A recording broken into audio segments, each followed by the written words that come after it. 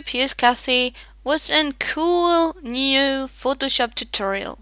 In this tutorial I want to show you um, how you can change the sky in a photo. This picture is from, it's near the London Thames barrier and you see the sky it's very very white. And now I want to change the white sky in a nice blue sky. So first you need this picture with this bad sky and a picture from a sky. I have here a nice blue one with some clouds so then go back to the picture Make sure you select the layer, choose the magic tool, the plus tool and the size of the brush what you want and select the sky.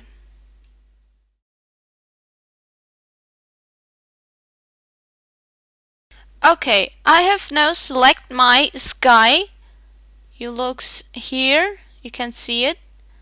Now it's very easy to replace it with a nice background. Um, it have to be selected, go back to the sky picture and you can choose this tool or press M and you get it. Now drag your picture, select the picture like this. After you have select your sky picture, go to edit copy. Then go back to the London picture or what bad sky picture. It's very important now. Go to edit and not paste.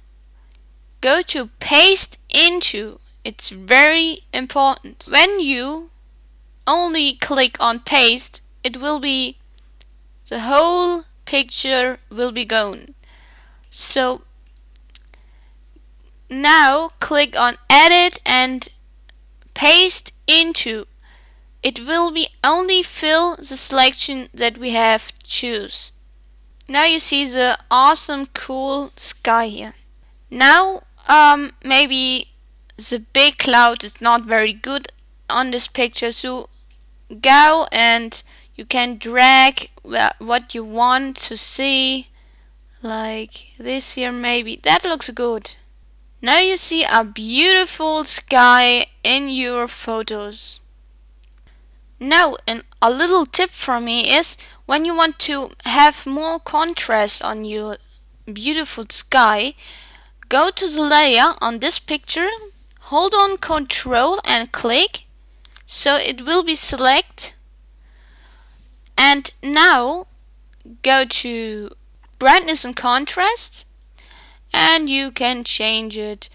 Um, you must be careful because the trees will be contrast too.